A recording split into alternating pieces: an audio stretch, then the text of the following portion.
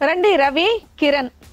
ఓయ్ ఎందుకు లేసావు మేడం చిన్న వర్క్ ఉంది. మళ్ళీ ఏం లేదు కూర్చో. ఇక్కడ నుంచి. కదలటానికే లేదు నువ్వు. కాళ్ళు ఇరుగుతాయి కూర్చో. Five minutes madam. మళ్ళీ ఏ, వస్తాను. కూర్చో. కూర్చో. కూర్చో. ఫస్ట్. నీ హిస్టరీ ఏంటో ఇప్పుడు తెలుస్తుందా? సమాజానికి ఇలాంటి అమ్మాయిలు చాలా చేటు. ఒక్క నిమిషం మేడం?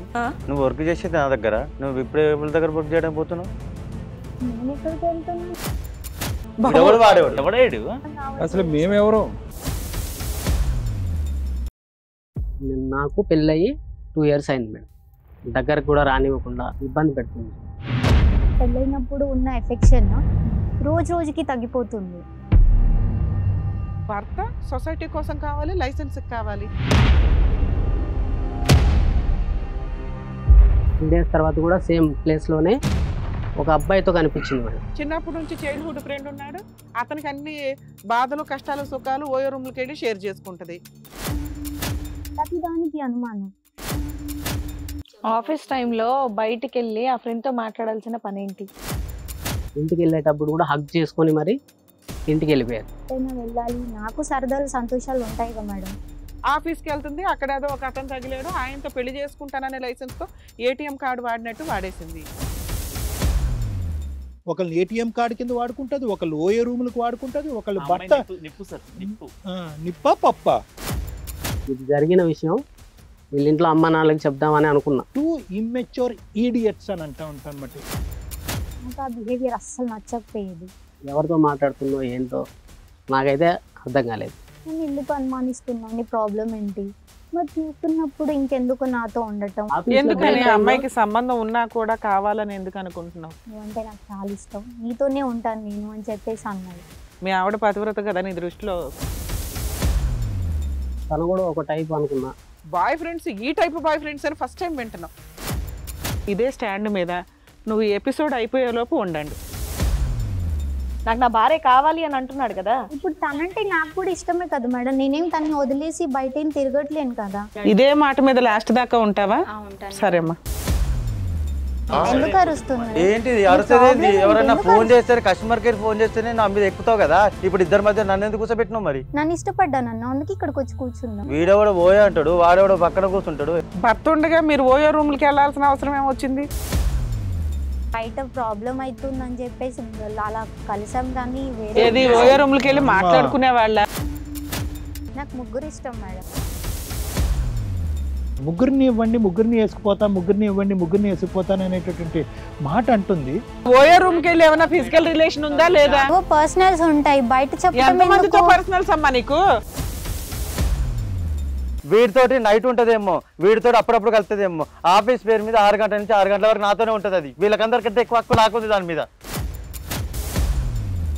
పెళ్ళైనటువంటి ఆడపిల్ల గురించి ఇలాగ ఇల్లీగల్గా అన్ఎతికల్గా వీళ్ళిద్దరు కొట్టుకు చేస్తున్నారు అనేది ఆ పేరెంట్స్ ద్వారానే వీళ్ళకి బుద్ధి చెప్తే కనుక.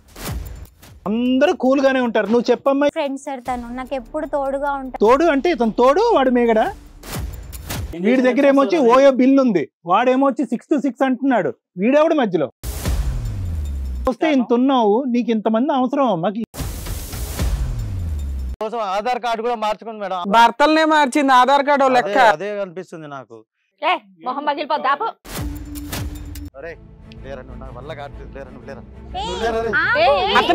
అతనికి పూర్తి రైట్స్ ఉంటాయి. మీరు? ఆయన పెళ్ళి చేసుకున్న వ్యక్తి నువ్వెవరు please. అట్లా రేస్ అవ్వాల్సింది అతను నువ్వు కాదు? ఆరు గంటల నుంచి ఆరు గంటలు ఉన్నప్పుడు దాన్ని అడిగే. ఆరు గంటల నుంచి ఆరు గంటల ఉన్నప్పుడు నువ్వు బయటకు ఎవరు అసలు?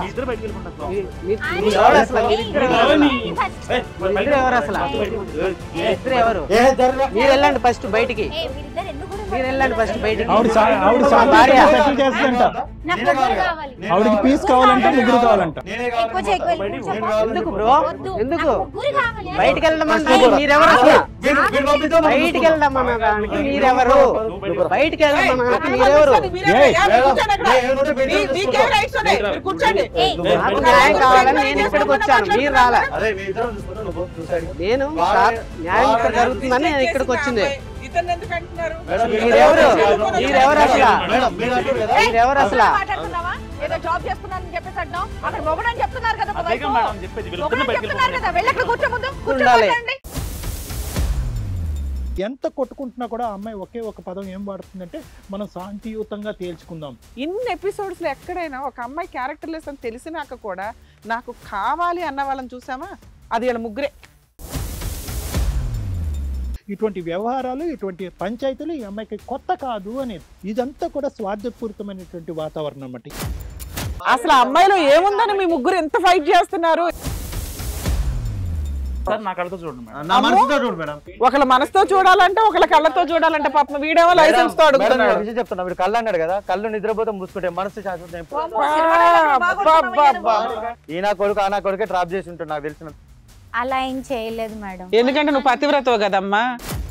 నెంబర్కి నేను ఫోన్పే చేస్తానంటే వద్దులే నా నా గుర్తుకుండ నువ్వు అని చెప్పేసి అన్నాడు. ఫోన్ పే గురించి చెప్తుంది కదా? ప్రపంచంలో లేని యాప్లు అన్ని ఇన్స్టాల్ చేసిన దీన్ని ఖర్చు పెట్టడానికి. పూర్తిగా ఆర్పేసిందండి ఫైనాన్షియల్గా. అరే నువ్వు వీక్లీకి వచ్చే షోరా? నేను డైలీ సీరియల్ పిచ్చోడా? Daily sir. వీడి వీక్లీ వాడి సీజనల్ సీనే లేదు ఇక్కడ. కాన్ఫిడెన్స్ ఏంటంటే నువ్వు ఒక్కడవే ఈ ముగ్గురులో పెర్ఫార్మర్ అంతేనా?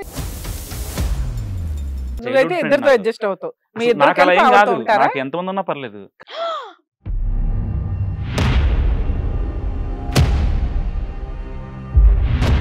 నీకేం కావాలి please. నువ్వు ఇప్పుడు టు మీరు ఆగండి. ఎందుకు? నేను?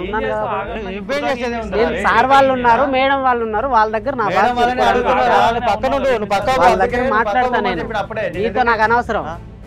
నీతో నాకు అనవసరము. రవి కిరణ్. ఏయ్, ఏయ్, ఏయ్, ఏం రా? ఏం? ఎక్కడికి వచ్చి మాట్లాడుతున్నావు నువ్వెవర్రా నువ్వు? నువ్వు నీ కాలి కోటికి పనికిరాడు ఇటు వీడు, నీకు అవసరం అని చెప్పు. ఎందుకు?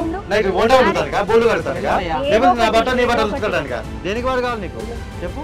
వీడు ఒక బఫోన్ తను నేను పెళ్ళి చేసుకున్నా. ఆ, వీడు అరే పేటీఎం కాదురా. ఓయో కాదు. అరే ఓయా ఆగు. నువ్వు ఓయా కానివే నీ బతుకు తెలుసా? నాయన నువ్వు ఐటు కూడా అది నన్ను పట్టుకుందిరా. నువ్వు ఐటు నన్ను పట్టుకుంది. నువ్వు పక్క నువ్వు బయటికి వెళ్ళి bro. నువ్వు రా బయట. నన్ను బయటికి వెళ్ళడానికి మీరెవరయ్యా మరి ఏం చేస్తావు ఏముంది?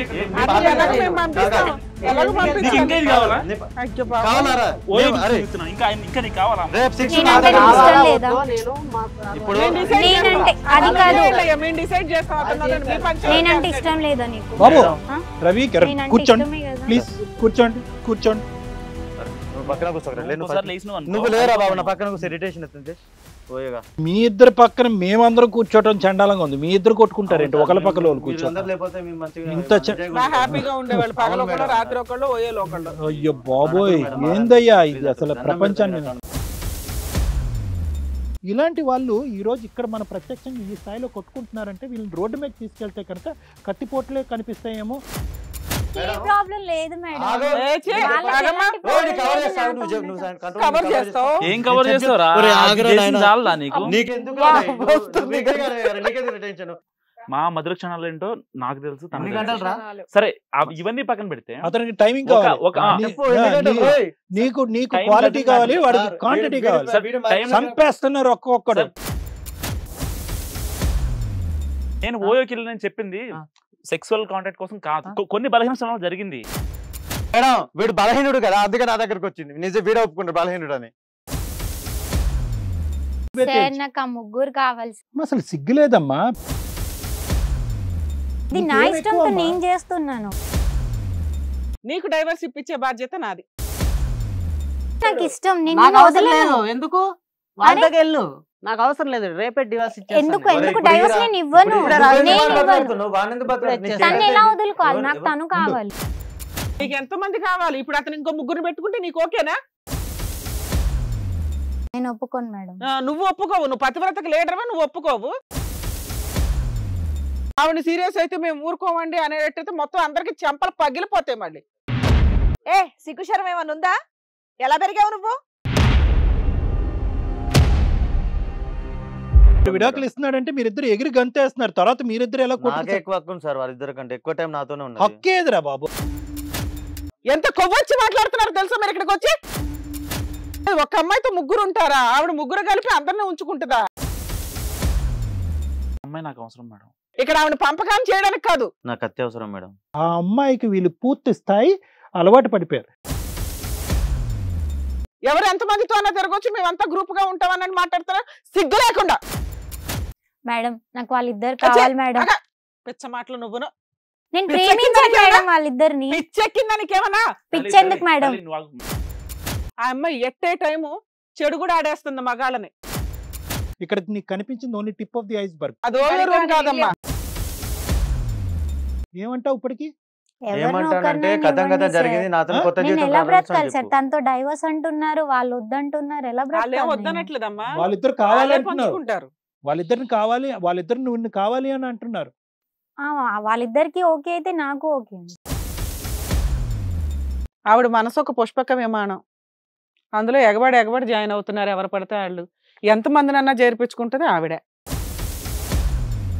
ఆ అమ్మాయి వీడితో హ్యాపీగా ఉండదు వీడితో హ్యాపీగా ఉండదు. ఎందుకంటే వాడితో పెళ్ళి చేసుకుంది వీడికేమో పెళ్ళి అయిందని తెలుసు. ఎలాంటి విషయం తెలియదు నాతో కాబట్టి నాతోనే హ్యాపీగా ఉంటది. నిన్ను జైల్లో వేసి ఇద్దరిని కూర్చోబెట్టాక ఒకే రూమ్లో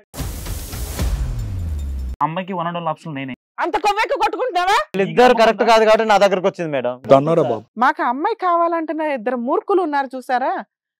వీళ్ళు చాలా డేంజర్ మీ. ముగ్గురు కలిసి ఉంటారా? ఎవరు? మీ ముగ్గురు కలిసి ఉంటారా? వాడున్న ఒకే కానీ వీడు ఉండదు భర్త మాత్రం మీ ముగ్గురిని ఒప్పేసుకోవాలి. మీరు మాత్రం ఒక్కొక్కళ్ళే ఒప్పుకుంటారు. ఎవరున్నా సరే అది నాతోనే ఉంటుంది. ఆ విషయం వీళ్ళకి తెలియదు వీళ్ళకి తెలిసిన రోజున వీళ్ళు ఉండరు అమ్మాయితో. ఇప్పుడు ఒకవేళ పోలీస్ స్టేషన్కి వెళ్తే వీడి మీద ఒక పాత కేసులు ఉన్నాయి మేడం. వీడిని ఇంకా బయటికి కూడా రాడు. ఈ భాగవతాలు కూడా ఒకటి. ఉన్నాయి. ఆ. పోలీసులు వచ్చినట్టున్నారు మేడం. పంపించండి. కానిస్టేబుల్స్ వచ్చారా. ఎస్ఐ వచ్చినట్టు. వీ- వీడిని నేను నీతో మాట్లాడతా వీని వేసుకోవద్దు. తర్వాత మనం చూసుకుందాం. నేను నేను చేస్తా ఈ అమ్మాయిని కూడానండి మేము ముగ్గురు మీద కంప్లైంట్ ఇచ్చాం. హస్బెండ్ ఇస్తాడు రిటర్న్గా మేము కూడా సపోర్ట్ చేస్తున్నాం అన్నాడు. అమ్మాయిని కూడా లేడీ కానిస్టేబుల్ వచ్చారు. మా లేడీ కానిస్టేబుల్ వస్తారు నీకు? నువ్వు ఆగు. అక్కడ కూర్చోబెట్టు అప్పటిదాకా. అవునండి అవును. ఏలమ్మా అక్కడ కూర్చో. నీతో మాట్లాడాల్సిన అవసరం కూడా లేదు మాకు. ఏం లేదండి మేము ఉంటాం కదా ఆల్రెడీ. సరే పో. ఈ రోజు ఈ కథ ఇక్కడితో ముగిసింది అనేటటువంటి ఆలోచన కంటే ఇది బహుశా ఇక్కడి నుంచి ప్రారంభం అయింది మన కంట పడటం అయినటువంటిది ఈ రోజు సమాజం మన ద్వారా చేసుకునేటువంటి ఒక అదృష్టం కింద మనం భావిద్దాం. మేము ఇన్ని ఎపిసోడ్లు చేశాం గానీ మేడం. ఇంత అద్భుతమైన స్త్రీని ఇంత గొప్ప పురుషుల్ని ఎక్కడా చూడలేదు.